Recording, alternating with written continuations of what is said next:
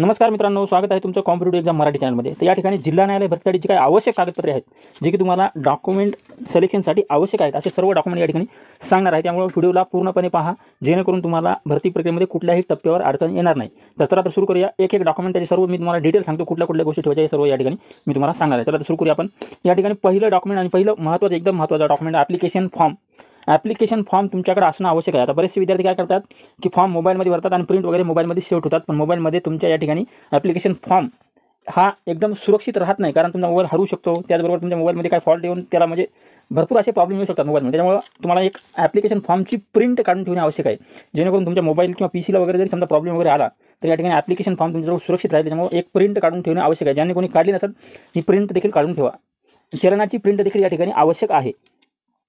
त्यानंतर बघा दुसरा महत्त्वाचा डॉक्युमेंट जन्म दाखला किंवा जन्माचा पुरावा किंवा जन्मतारखेचा पुरावा यासाठी आपल्याला टी सी किंवा बी सी म्हणजे बर्थ सर्टिफिकेट किंवा दहावीचं जे काही सनद असते टेन्थ सर्टिफिकेट हे तिन्हीपैकी एक असणं तुमच्याकडे आवश्यक आहे. जन्म दाखल्याचा पुरा जन्म दाखल्याचा पुरावा म्हणून किंवा जन्मतारखेचा पुरावा म्हणून या ठिकाणी तुम्हाला या तिन्हीपैकी एक कागदपत्र डॉक्युमेंट असणं आवश्यक आहे. बघा चौथं डॉक्युमेंट चौथं डॉक्युमेंट तिसरं डॉक्युमेंट सॉरी पदवी प्रमाणपत्र डिग्रीचे प्रमाणपत्र बऱ्याचशा विद्यार्थ्यांचं काय असते? युनिव्हर्सिटीमध्ये पडून असते किंवा युनिव्हर्सिटीमधून त्यांनी आणलेलं नसते. तर अशा विद्यार्थ्यांना हा व्हिडिओ खूप महत्त्वाचा आहे. तुम्ही जर ते पदवीचं प्रमाणपत्र म्हणजे डिग्री सर्टिफिकेट आणलं नसेल तर आता तुम्ही आणून या जेणेकरून तुम्हाला उद्या अडचण येणार नाही आणि उद्या तुमची धावपळ होणार नाही. आणि त्याचबरोबर तुम्ही हे विद्यापीठात ठेवून काय करणार? किती दिवस? भरपूर दिवस ठेवून म्हणजे तिथं काय होणार आहे काय? काहीच होणार नाही. त्याच्यामुळे तुम्ही हे पदवीचं प्रमाणपत्र लवकरात लवकर आणून घ्या. डिग्री सर्टिफिकेट तुमच्याकडे असणं आवश्यक आहे. त्याचबरोबर आता पुढचे डॉक्युमेंट पाहण्याआधी आपल्या चॅनलच्या माध्यमातून बॉम्बे हायकोर्ट क्लर्कसाठी त्या चाळीस क्वेश्चन पेपर देण्यात आले होत्या तर ते चाळीस क्वेश्चन पेपरचा विद्यार्थ्यांनी अभ्यास केला त्यांना भरपूर फायदा झाला होता. तर त्या चाळीस क्वेश्चन पेपरमधले पन्नास प्रश्न प्रत्यक्ष परीक्षेत पन्नास प्रश्न जशाच तले तसे आले होते. अगदी तशाच प्रकारची टेस्ट सिरीज आपण पिऊन आणि क्लर्कसाठी सुरू केलेली आहे. तर ज्यांना कोणाला हे टेस्ट सिरीज परचेस करायची असेल त्याची सर्व डिटेल तुम्हाला व्हॉट्सअपवर मिळेल. शहात्तर सहासष्ट एक्क्याऐंशी चौदा शहात्तर हा व्हॉट्सअप नंबर आहे. कृपया कॉल कोणी करू नका. ज्यांना कोणा टेस्ट सिरीज परचेस करायची असेल तर सर्व डिटेल तुम्हाला या नंबरच्या माध्यमातून मिळेल. व्हॉट्सअपला फक्त मेसेज करा. तर चला आता सुरू पुढे बघूया.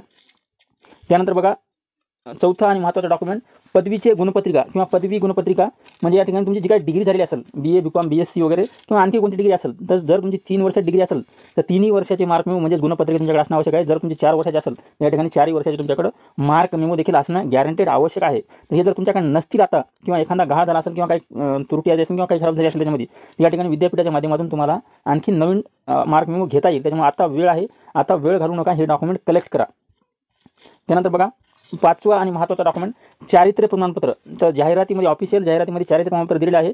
किंवा तुमच्याकडे हा फॉर्मॅट नसेल किंवा तुम्हाला हे फॉर्मॅट मिळवण्यामध्ये अडचण येत असेल तर वर दिलेल्या नंबरवर तुम्ही मला या ठिकाणी कॉन्टॅक्ट करू शकता. वर मी नंबर सांगितलेला आहे. त्याच्यामध्ये मी तुम्हाला ते पी डी एफ पाठवाल. आणि दोन प्रतिष्ठित व्यक्तीची आता त्याच्याकडे सही स्टॅ सही असणं आवश्यक म्हणजे त्याला सही घेणं आवश्यक आहे. आणि स्टॅम्प जरी नसेल म्हणजे अधिकृत प्रतिष्ठित नागरिक जो असतो तो स्टॅम्प वरात असणं आवश्यक आहे असं काही नाही. जर त्याच्याकडे स्टॅम्प जरी नसेल तुमच्या ओळखीचा असेल कोणी या ठिकाणी फक्त तुमचा नातेवाईक वगैरे नसावा थोडंसं म्हणजे गावातला जरी असेल ना तरी चालेल. घरचा किंवा नातेवाईक नसावा असे या ठिकाणी आठ असते. त्याच्यामुळं चारित्र्य प्रमाणपत्र दोन गावातल्या किंवा तुमच्या शहरातल्या किंवा तुमच्या गल्लीतल्या लोकांच्या ठिकाणी तुम्ही घेऊ शकता. चारित्र्य प्रमाणपत्र. त्यानंतर बघा सहावा डॉक्युमेंट किंवा सहावा कागदपत्र M S C I T M S C I T किंवा जो तुम्ही कॉम्प्युटरमध्ये ॲप्लिकेशन फॉर्ममध्ये नाही जो कोणी कॉम्प्युटर कोर्सचा उल्लेख केला असेल ज्या कॉम्प्युटर कोर्सचा किंवा सर्टिफिकेटचा ते सर्टिफिकेट तुमच्याकडे आजच्या डेटमध्ये ओरिजिनल असणं आवश्यक आहे गैरंटी नसेल तर या ठिकाणी तुम्ही मिळवू शकता त्यानंतर बघा सातवा डॉक्युमेंट टायपिंग आणि स्टेनोचे सर्टिफिकेट तुम्ही जसं जसं ॲप्लिकेशन फॉर्ममध्ये ज्या ज्या सर्टिफिकेटचा उल्लेख केलेला आहे किमान तेवढे कागदपत्र म्हणजे टायपिंग सर्टिफिकेट किंवा स्टेनो सर्टिफिकेट तुमच्याकडे ओरिजिनल असणं आवश्यक आहे. जर तुमच्याकडे नसतील तर तुमच्या टायपिंग इन्स्टिट्यूटच्या माध्यमातून तुम्हाला जी सी सी वगैरे याच्याकडून तुम्हाला हे परत मागवता येतील. त्याच्यामुळे तुमच्याकडे टायपिंग सर्टिफिकेट जेवढे असतील तुम्ही आतापर्यंत जेवढ्या टायपिंग वगैरे किंवा स्टेनो वगैरे केला असेल ते सर्व डॉक्युमेंट या ठिकाणी तुम्ही आतापासून कलेक्ट करून ठेवा. त्यानंतर बघा आठवा महत्त्वाचा डॉक्युमेंट किंवा आठवा आठवा महत्त्वाचं कागदपत्र. कास्ट सर्टिफिकेट आता मी याच्यामध्ये तपशिलामध्ये काय दिलेलं आहे? As per the application form तर याच्या मागे कारण आहे. As per the application form देण्यामध्ये कारण आहे की बऱ्याचशा विद्यार्थ्याकडे काय असते? म्हणजे दोन तीन प्रकारचे कास्ट असतात. आता मी दोन तीन प्रकारचे म्हणजे वेगवेगळ्या कास्ट वाईज म्हणत नाही असं आहे. उदाहरणार्थ एखाद्या विद्यार्थ्याचं ओबीसीचं कास्ट आहे. तर ओबीसीच्या कास्टमध्ये एखाद्याचं जुनं असते. एखाद्याचं काय असतं? नॅशनल लेवलचं म्हणजे राष्ट्रीय लेवलचं असते. भारत सरकारला कामी पडणारं. आणि कोणाकडे आता लेटेस्ट काढलेलं असते. तुम्ही जे ॲप्लिकेशन फॉर्ममध्ये या ठिकाणी उल्लेख केलेला आहे ते हे उल्लेख केलेला डॉक्युमेंट म्हणजे कास्ट सर्टिफिकेट हे तुमच्याकडे ओरिजिनल असणं आवश्यक आहे. तुम्ही ॲप्लिकेशन फॉर्ममध्ये ज्या प्रकारे सांगितलेलं आहे ते डॉक्युमेंट या ठिकाणी कास्ट तुम्हाला आवश्यक असते. त्यानंतर बघा नवं डॉक्युमेंट नवं कागदपत्र. एन ओ सी किंवा ना हरकत प्रमाणपत्र. एन ओ सी किंवा ना हरकत प्रमाणपत्र तुमची म्हणजे कोणी विद्यार्थी या ठिकाणी ऑलरेडी सरकारी नोकरीमध्ये असतील कोणी शिपाई परासाठी समजा ऑलरेडी नोकरी असतील क्लर्कसाठी भरला असेल तर अशांनी काय करा एन ओ सी आताच घेऊन ठेवा. डेट मेन्शन करणं आवश्यक असते. तुम्ही एन ओ सी कधी वगैरे घेतलेले हे या ठिकाणी आवश्यक असते. त्याच्यामुळे इम्पॉर्टंट डेटवर देखील लक्षात ठेवा आणि हे एन ओ सी ना प्रमाणपत्र आत्ताच घेऊन ठेवा.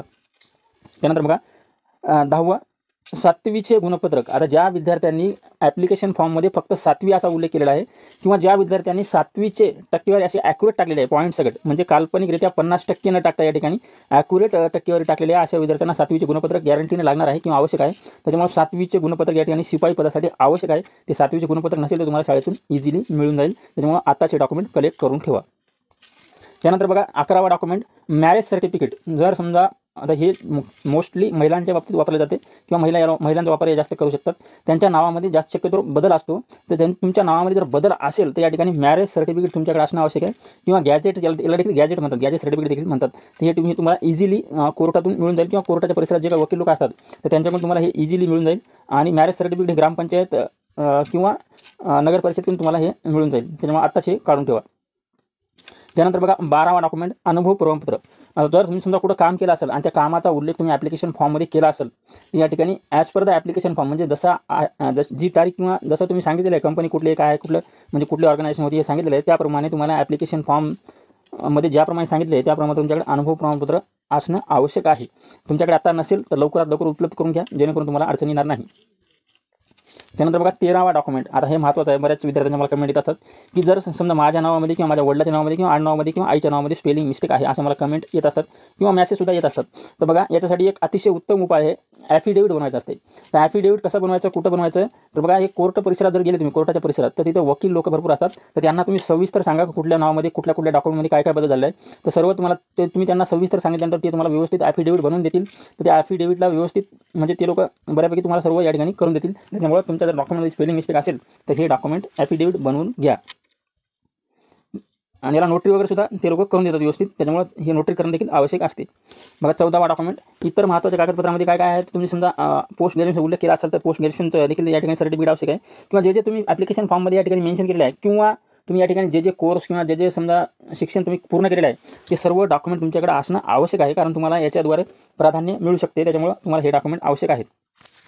आता चौदा पॉईंटमध्ये महत्त्वाचा तपशील सांगतो की वेबसाईटवर किमान आठ दिवसामध्ये एक वेळा किमान आठ दिवसामध्ये एक वेळा तर याची वेबसाईट कोणती आहे? बॉम्बे हायकोर्ट किंवा B S C B S C असं जरी टाकलं तरी या ठिकाणी तुम्हाला गुगलवर ती वेबसाईट पाहायला मिळेल. तर वेबसाईट आठ दिवसामध्ये एक वेळा किमान आठवड्यामध्ये एक वेळा सर्च करणं आवश्यक आहे. जर तुम्हाला शक्य असेल तर आठ दिवसात दोन तीन वेळासुद्धा करू शकता.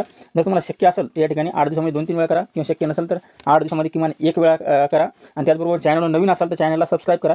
बॉम्बे हायकोर्टाची कुठलीही नवीन अपडेट त्याचबरोबर भरती प्रक्रियेमध्ये काही बदल असतील किंवा त्याचबरोबर काही म्हणजे चेंजेस असतील तर या ठिकाणी आपल्या चॅनलच्या माध्यमातून स्पष्टपणे व्यवस्थित समजून सांगितले जाते. त्याच्यामुळे चॅनल नवीन असेल तर चॅनलला सबस्क्राईब करा आणि कृपया सर्वांनी एकदा व्हिडिओला लाईक करा.